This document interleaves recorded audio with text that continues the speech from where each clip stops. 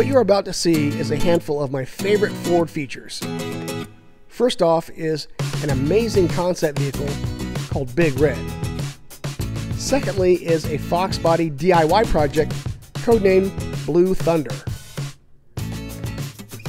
And lastly is an offbeat look at a Ford F-150 Police Responder Edition. But first, here's Big Red. Meet Big Red. Big Red was an experimental gas turbine powered super truck intended for the 1970s. It was conceived and computer designed by Ford Motor Company engineers and traveled from coast to coast, testing its adaptability to the highways. It was amazing. Big Red was on display at the 1964 World's Fair and at many auto shows. Basically, wherever the opinions and suggestions of truck drivers and operators could be sampled by Ford. The cab of Big Red was 13 feet high and was level and closely coupled to its trailer. The rear of the cab was concaved to maintain clearance on curves. The overall length of the tractor and twin trailers was a whopping 96 feet. Now, a small turbine engine was designed by Henry Ford and two associates way back in 1925, and since that time, Ford engineers had been quite interested in the potential of gas turbine power. In a turbine laboratory with the aid of computers and testing devices of the era, the most advanced engines and components were evaluated as part of a gas turbine development program. The experimental 705 engine, as it was called, was the beating heart of Big Red. It was designed and carefully built by Ford's company engineers under a contract with the United States Navy on a joint Army Navy program as an all gas turbine power plant. Now, the engine developed 600 horsepower and was capable of 24 hour sustained operation. The engine provided Big Red with a cruising speed of a respectable 70 miles per hour and a non-stop range of more than 600 miles. A unique supercharged cycle contributed to the 705's high efficiency. Two compression stages and exhaust gases were used to preheat air entering the primary burner.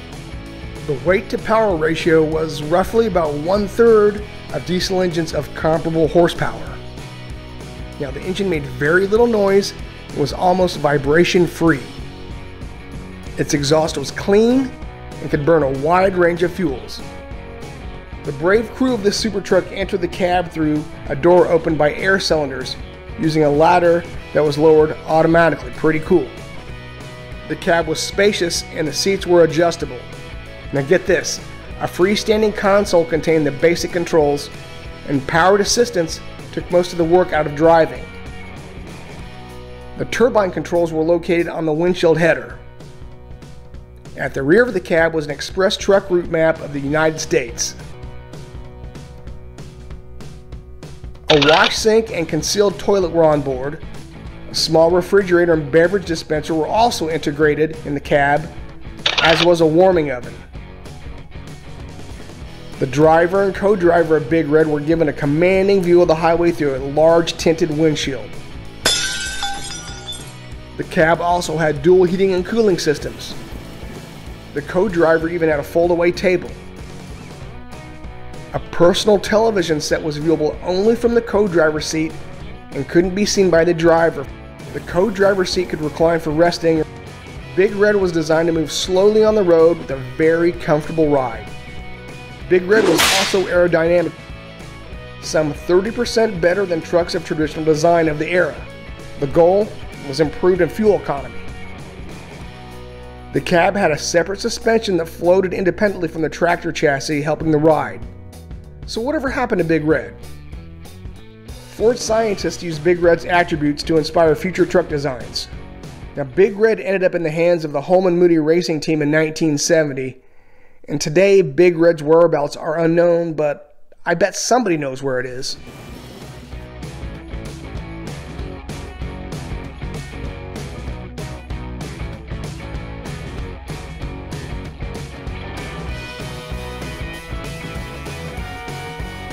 Here's to the innovative and fascinating Big Red. Let's face it, there is no shortage of love for the Ford Mustang. The numbers don't lie, this we know. But if you dig a bit deeper into the culture of this iconic pony car, you'll learn that the Fox Body fanbase just keeps getting stronger. Road Noise recently caught up with professional racer Stephen Cox. Along with help from his sponsors, he has embarked on his very own Fox Body adventure. Mustang Fox Body fans, this story is for you. Go ahead, Stephen. Hey everybody, Stephen Cox here, and a big thanks to Road Noise for coming out to the Sopwith Motorsports Racing Garage in Central Indiana. I want to introduce you to my best friend since 1982.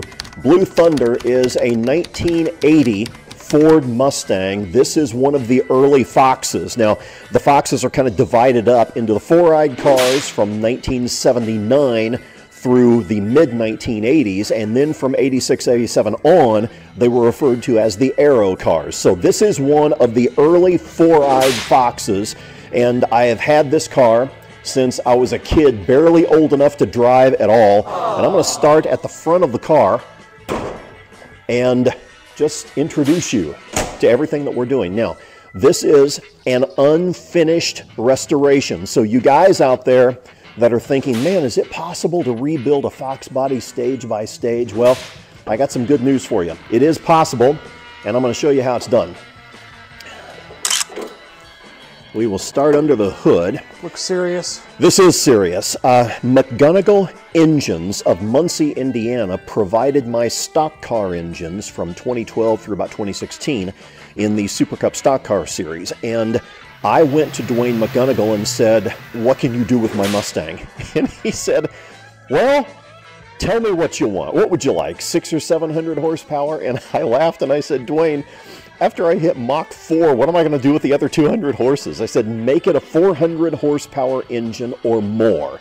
So this dyno's at exactly 407 horsepower. Now, it was extremely important to me that we remain true blue Mustangs. So this is a Windsor 302 block that has been punched out to 347. It puts out exactly 407 horsepower and 442 pound-feet of torque. And for a 2,900 pound car, this thing will go.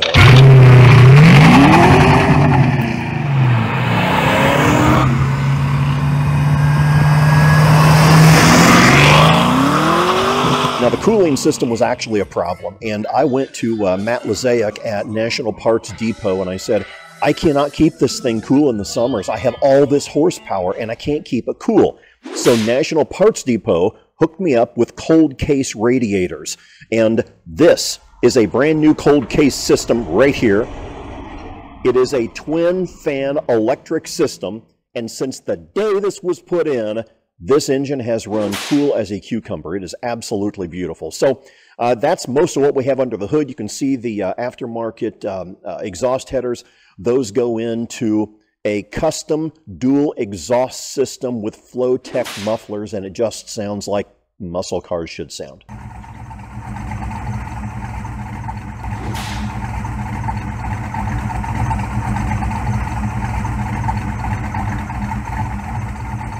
One thing I absolutely love is the fact that we went with chrome pony wheels. Now, again, these would have been on the later Fox bodies, so I have mixed up years. But like the engine, everything we have on this car is true blue Mustang. Those are chrome five spoke pony wheels, and we upgraded to Continental Extreme Contact Sport tires, thanks to Matt Peterson of uh, Braunschweig Racing. And he recommended this this marriage, and so that's what we put on the car. That's an aftermarket setup that is off of a 1990 Mustang GT. So you have four-wheel disc brakes, which this car did not come with. It came with drums in the back. And it is off of a GT, so you have increased braking power. And those brakes were designed for a GT in the early 90s, and that means it was a car that weighed three or 400 pounds more than this. So I have more than enough braking power for this little four-eyed Fox. So what about underneath the car? Well, actually, underneath the car, we've got a lot going on because the Fox bodies were notoriously sloppy. They had a lot of flex. So I called National Parts Depot, explained the problem to them. They hooked me up with Stiffler's Engineering out of Mooresville, Indiana.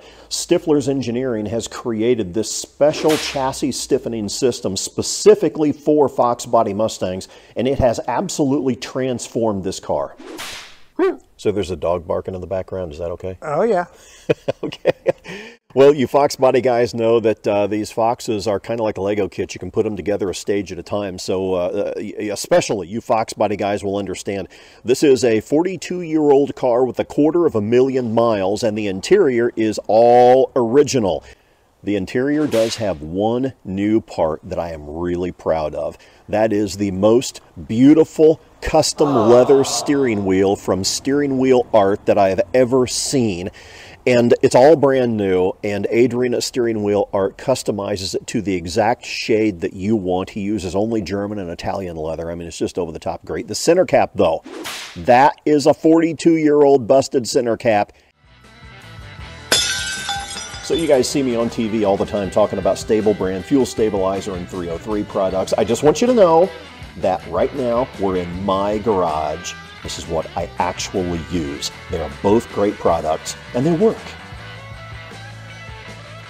So the point is, Fox Body guys, if you don't have 50 grand and a year to spare to send your car to a restoration specialist, you can do this. You can do it stage by stage and piece by piece. Fox Body guys, you got this.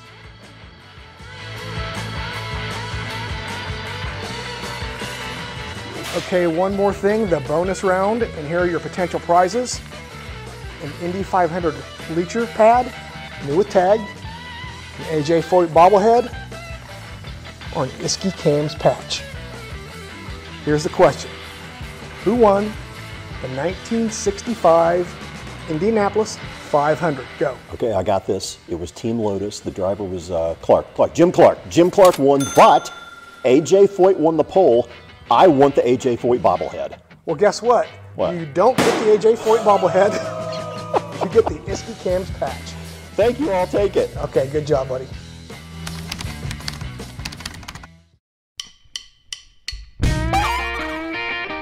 So what are we looking at here? This is my new police vehicle. It's a 2022 Ford F-150 Police Responder Edition. Let's take a little tour of it and I'll make you look good. Al, you better make me look good. I know what you drive. Start now or you want to wait? Let's, uh, let's go to breakfast first, but no donuts.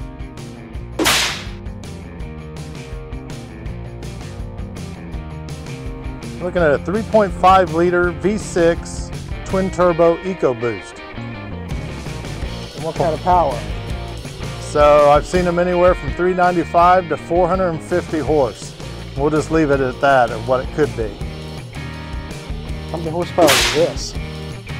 She's one horsepower, but she's gonna be hopefully one big one.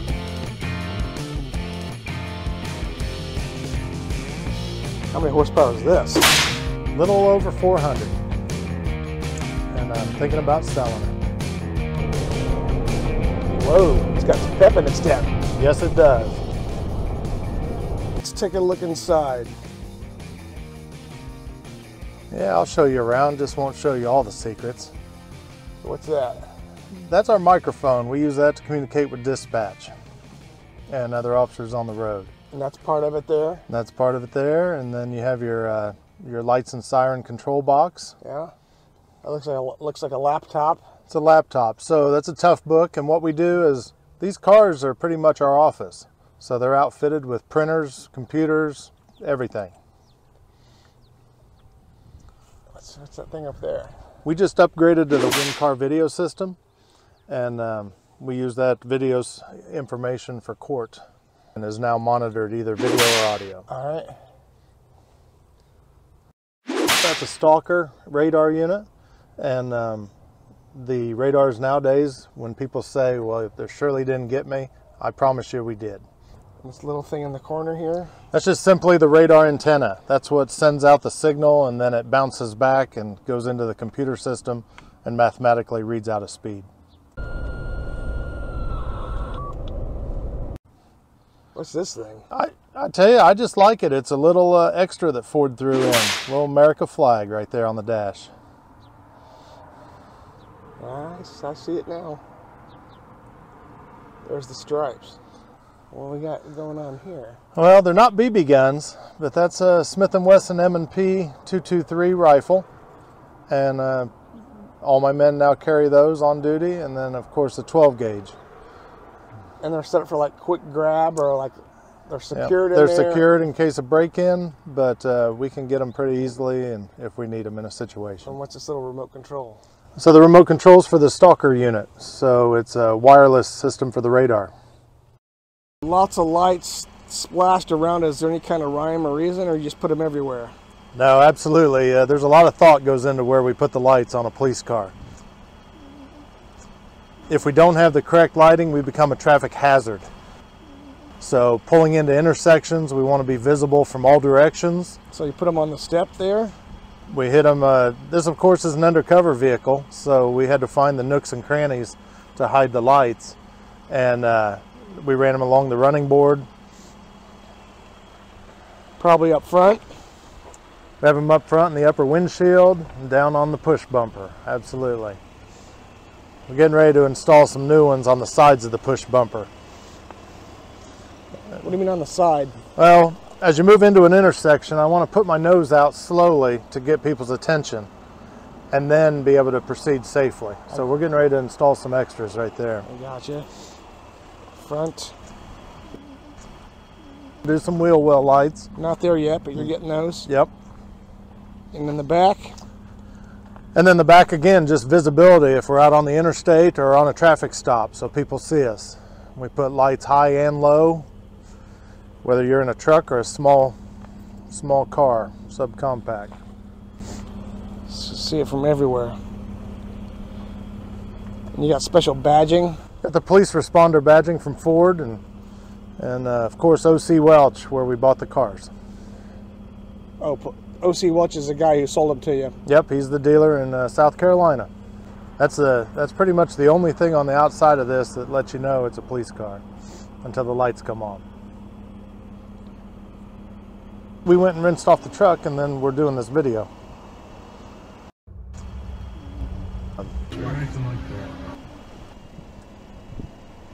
That just turned all white. Yeah, those are what we call takedown lights or scene lights. So on a traffic stop, we can go to all white uh, for our safety. Hey, before you leave, I'd like to show you this.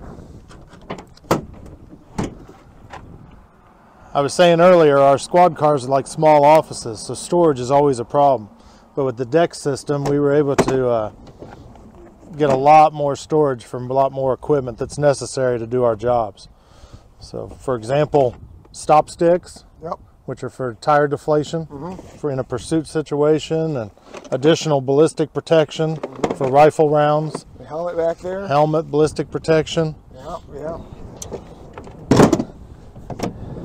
and then first aid and uh, water rescue ropes we've used those here in our town so we're we're uh, we're a very equipped department rifle up there. just another rifle that we keep and um, Looks like a sledgehammer. And then, of course, uh, that's what I like to call the key to the city. We like to think we're equipped and, and ready to go at a moment's notice. Road Noise would like to thank the city of Pendleton, Indiana, the men and women in blue, ponies, pony cars, and sirens.